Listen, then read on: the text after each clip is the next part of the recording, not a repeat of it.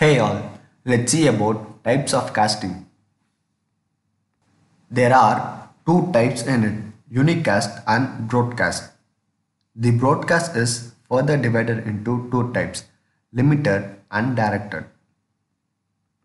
Let's see about unicast first.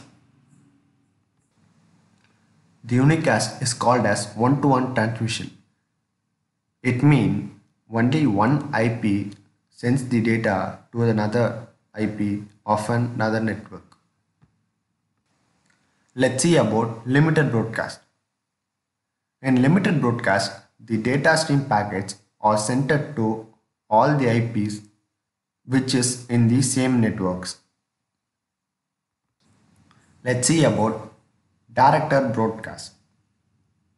In directed broadcast, the packet stream to all the device over the other networks, which mean the data will be sent to all the devices of other network. And finally, thanks for watching the video. You can subscribe to my channel, which is actually free of cost.